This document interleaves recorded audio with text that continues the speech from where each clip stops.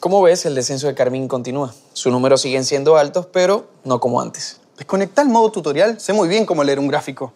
Esperemos un poco. Hasta ahora Carmín siempre logró resurgir después de un escándalo. Igualmente tengo un as bajo la manga por si la reina pierde su trono.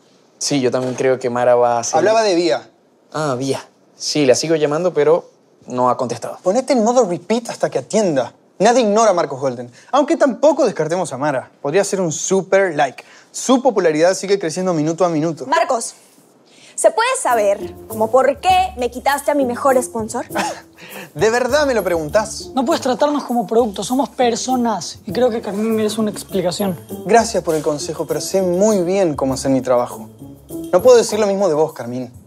Los números no mienten. En vez de quejarte, deberías ocupar tu tiempo en conseguir que tus seguidores vuelvan a confiar en vos. Ahora déjeme solo que tengo algo muy importante que resolver.